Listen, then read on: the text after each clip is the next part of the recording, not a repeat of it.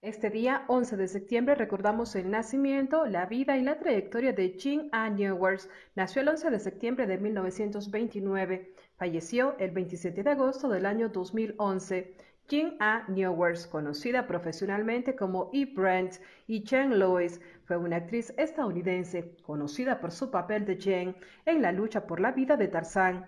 Nacida como Jane A. Newers, nació en Houston, Texas en 1929 y criada en Fort Worth, apareció en la radio y televisión, en papeles de estrella invitada y cientos de comerciales en películas y en escenarios teatrales. Algunos de sus primeros trabajos cinematográficos incluyen papeles en Gone Girls de 1957, Journey to Freedom de 1957, Forty Cans de 1957. Se convirtió en la actriz número 12 en interpretar a Jane cuando ella apareció junto a Gordon Scott en Tarzán, en la película La lucha de Tarzán para la vida de 1958. También interpretó el papel de Tarzán y Los Tramperos del mismo año. Tres episodios filmados como piloto de una serie de televisión propuesta por Tarzán.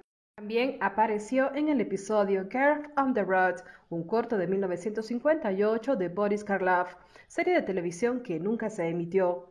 En 1967 apareció como la madre de Benji Carver en el episodio de LSD Story del programa de televisión Dragnet.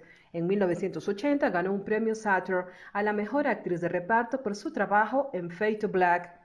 En 1998 apareció como la abuela de una familia reunida alrededor de la mesa en un comercial de televisión de Navidad para Public Supermarkets. Su trabajo reciente más conocido fue en la película The Green Mile de 1999. Continuó trabajando en televisión por episodios e hizo una aparición especial en Fraser en la temporada 1 en el episodio 3 como presentadora. En el año 2006 hizo un episodio de Scrubs y en el año 2010 un episodio en Community.